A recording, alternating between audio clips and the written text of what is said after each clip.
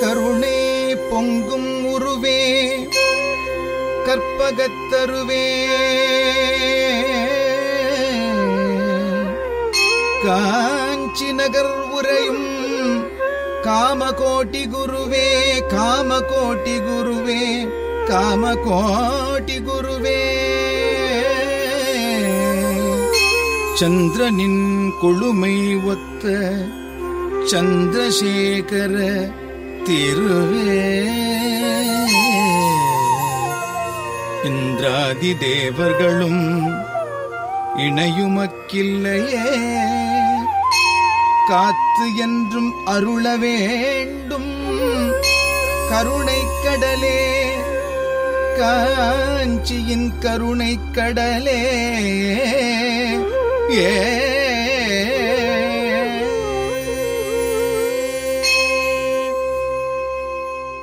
நேயர்களுக்கு அன்பு வணக்கம். நேற்றைய தினம் ஒரு அன்பர் மகா பெரியவர் பால் பக்தி கொண்டவர் மடத்திற்கு வந்து தொண்டு செய்துவிட்டு ஊருக்கு திரும்பும் பொழுது பேருந்திலே நேரிட்ட சம்பவங்களை எல்லாம் நான் சொன்னேன். குடித்துவிட்டு சிலர் கலாட்டா செய்து கொண்டு ரவுடித்தனம் செய்ய அந்த பயணம் ரொம்ப தப்பாக இருந்தது மிகவும் வருத்தத்தை தரக்கூடியதாக இருந்தது என்றெல்லாம் சொன்னேன். பின்வரிசையில் அமர்ந்திருந்த அவருடைய இடத்திலே அவர்கள் அமர்ந்து கொண்டு இவரை முன்னாலே போய் அமரச் சொல்லி அட்டகாசம் செய்ததையும் அவரும் பேசாமல் அமர்ந்து சென்றதையும் அதற்கு காரணமாக அவர் சோடா குடிக்க போனதையும் எல்லாம் நான் சொன்னேன்.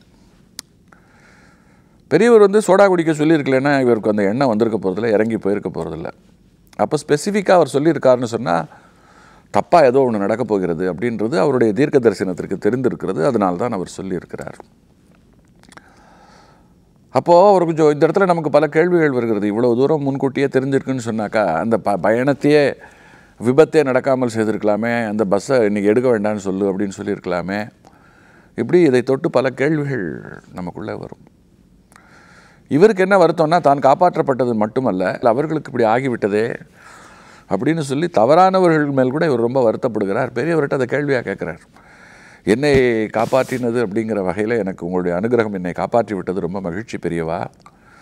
ஆனால் அவர்களும் காப்பாற்றப்பட்டிருக்கலாமே என்று சொல்லும் பொழுது அப்போ அவர் சொன்னார் விதை விதைத்தவர்கள் அதற்குண்டானதைத்தான் பெறுவார்கள். அதாவது அவரைக்கான விதையை விதைத்துவிட்டு சுரைக்கான பலனை எதிர்பார்க்கக்கூடாது எதிர்பார்க்க முடியாது விதி அது கிடையாது.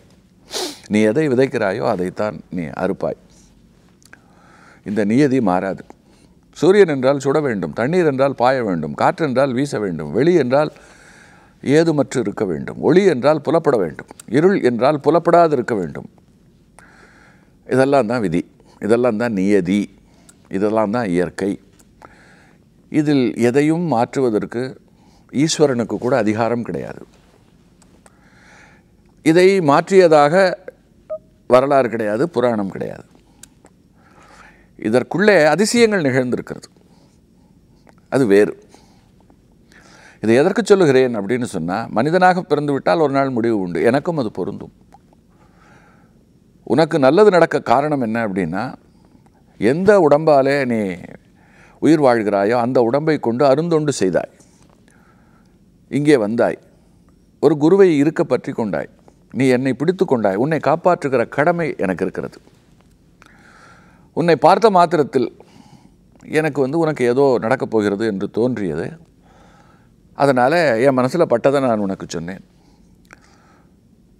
இதற்கும் ஒரு அளவு இருக்கிறது. அதற்காக இந்த உலகத்தில் நீ வந்து சாகாமல் உன்னை உயிரோடு வாழச் செய்வது என்பதெல்லாமும் நடக்காது. அது என் கையில் கிடையாது. எப்படி ஒரு மரம்னா இவ்வளோ உயரம்தான் வளரலாம்? ஒரு மனிதன் இவ்வளவு தான் சாப்பிடலாம் அப்படின்னு எல்லாத்துக்கும் ஒரு அளவு இருக்கும். அதுபோல் ஒரு குருவுக்கும் ஒரு எல்லை வரையறை அளவு எல்லாம் இருக்குது அவரவர்கள் கர்மங்கள் தான் அவரவர்களை வழிநடத்துகின்றன அந்த கர்மங்களிலிருந்து விடுதலை பெறுவது அந்த கர்மங்களை கழுவி துடைத்துக் கொள்வது அப்படிங்கிறது எல்லாம் குருவின் துணையும் குருவின் அருளும் இருந்தால் மிகச் சுலபமாக அதிலிருந்து நாம் வெளியில் வந்துடலாம். அப்பா வந்து அம்மா வந்து பெற்று அப்பா கிட்ட கொடுக்குறா பிள்ளைய. பிள்ளை என்ன பண்ணுறான் அப்பா என்ன பண்ணுறாருன்னா குருக்கிட்ட ஒப்படைக்கிறார். இவனுக்கு நல்ல கல்வியை கொடுத்து ஞானத்தை கொடுத்து இந்த உலகத்தை பற்றின அறிவை கொடுத்து இவன் இறைவனை அடைவதற்கு நீங்கள் தான் வழி செய்ய வேண்டும் அப்படின்னு சொல்லிட்டு கொடுக்குறார். அப்பாவால் செல்வத்தை கொடுக்க முடியும். இதை போன்ற வழிமுறைகளை காட்ட முடியும். குருவால் தான் அவனை அவனுக்கு காட்டி அதற்கு பிறகு அவனுக்கு இறைவனை காட்டி அவனுக்கு வந்து மோட்சத்தை அளிக்க முடியும். அதுக்கு தான் குரு குரு அப்படிங்கிற வார்த்தைக்கு பொருள் என்ன தெரியுமா? வெளிச்சம் ஒளி ஒளியாக இருப்பவர் ஒளியை தருபவர். இருளை நீக்குபவர். ஒளி வடிவமானவர். இதுதான் அந்த வார்த்தைக்கு பொருள். இருளை நாம் எப்பொழுது எங்கே எப்படி பார்க்குறோமோ அப்பொழுதெல்லாம் அதை எப்படியெல்லாம் நீக்க முடியுமோ அப்படியெல்லாம் நீக்குவது அப்படிங்கிறது நம்முடைய நோக்கம் நம்முடைய கடப்பாடு. இப்படி தான் இருக்கணும் இப்படி தான் செய்யணும். இறுதியாக அவர் சொன்னது இந்த உலகத்தில் நாம் நல்லது கெட்டது எல்லாம் கலந்து தான் செய்கிறோம் நல்லதை மட்டுமே செய்து கொண்டு ஒருவர் இருப்பது சாத்தியமில்லை. தீயதை மட்டுமே செய்து கொண்டும் ஒருவர் இருக்க முடியாது. மிக கொடிய தீவினை செய்கின்றவன் கூட தன் பெண்டாட்டி பிள்ளைகளுக்கு நன்மை செய்கின்றவனாக நல்லவனாக இருப்பான். யாரோ ஒருத்தரிடத்தில் பற்று பாசம் வைத்து அவர்களுக்காக வாழ்ந்து கொண்டிருப்பான். அதனால் ரெண்டும் உள்ளது தான் உலகம். நாம் இந்த பிறப்பில் இந்த பிறப்பு நமக்கு எதற்கு தரப்பட்டிருக்கிறது தெரியுமா? இதை புரிந்து கொள்வதற்கு. ஒரு விஷயம் தெரிஞ்சுக்கணும். இந்த உலகத்தில் கோடிக்கணக்கான உயிரினங்கள் அதில் மனிதனுக்கு மட்டும்தான் ஆறாம் அறிவு. இந்த ஆறாம் அறிவு கொண்டவனுக்கு மட்டும்தான் பேதம். இந்த அறிவு தான் பேதத்தையும் கற்பிக்கிறது. மற்ற உயிரினங்களுக்கு பேதமே கிடையாது. பெருசு சிறுசு கிடையாது. பாவ புண்ணியம் கிடையாது. நல்லது கெட்டது கிடையாது. அவைகளுக்கு அப்படியெல்லாம் என்னங்கிறதே தெரியாது. அறிவு காரணமாக நமக்கு மட்டும்தான் இதெல்லாம் தெரிகிறது. நமக்கு மட்டும்தான் ரெண்டு வந்து விடுகிறது. அந்த ரெண்டு ஒன்று தான் அப்படிங்கிறத தெரிஞ்சுக்கிறது தான் நம்ம வாழ்க்கை. நல்லது கெட்டது ரெண்டையும் செய்ய முடியாது தவிர்க்க முடியாதுன்னு சொன்னேன். நல்லதை அதிகம் செய்து தீயதை குறைத்து கொள்ள வேண்டும். ஒரு தப்பு தெரிஞ்சு செய்துட்டோன்னு சொன்னால் தெரிஞ்சு ரெண்டு நல்லது செய்து அதை ஈடுகட்டி விட வேண்டும்.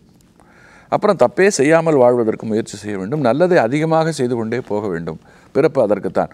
ஒரு கட்டத்தில் நல்லது கெட்டது இரண்டையும் கிருஷ்ணார்ப்பணம் என்று சொல்லி அர்ப்பணித்து விட வேண்டும். ஏன்னு சொன்னால் எப்படி தவறு செய்தால் அந்த தவறுக்கான தண்டனையை அனுபவிப்பதற்காக நாம் திரும்ப பிறக்கிறோமோ அதே போல் நல்லது செய்தால் நல்லதற்கான பயன்களை அனுபவிக்கவும் திரும்ப பிறப்போம். இன்றைக்கு ரொம்ப பேர் பெரும் பாவிகளாக செய்து கொண்டிருப்பார்கள் ஆனால் ரொம்ப சௌக்கியமாக இருப்பார்கள்னு சொன்னால் பின்புலத்தில் அவர்கள் முன் ஜென்மத்தில் சேமித்து வைத்ததைத்தான் அவர்கள் இப்பொழுது கரைத்து கொண்டிருக்கிறார்கள். அதனால் நாம் வந்து ஒரு நல்ல குருவை பற்றி கொண்டு நல்ல காரியங்களை மட்டுமே நாம் செய்ய வேண்டும். ஒவ்வொரு காரியத்திற்கு பின்னாலேயும் மிக சரியான காரண காரியம் இருக்கிறது. காஸ் அண்ட் எஃபெக்ட் என்று ஆங்கிலத்திலே சொல்லுவார்கள். காரணம் இல்லாமல் காரியம் இல்லை. ஒருவன் தவறாக இருப்பதற்கும் சரியான காரணம் இருக்கிறது. சரியாக இருப்பதற்கும் சரியான காரணம் இருக்கிறது. இதை புரிந்து கொள்வது அறிவை கடந்து ஞானம் என்று ரொம்ப அழகாக ஒரு பெரிய விளக்கத்தை தருகிறார். இப்படி அவருடைய வாழ்க்கையில் நிறைய அற்புதங்கள் தொடர்ந்து சிந்திப்போம். காஞ்சி நகர் உரையும் காமகோட்டி குருவே காமகோட்டி குருவே காமகோட்டி குருவே.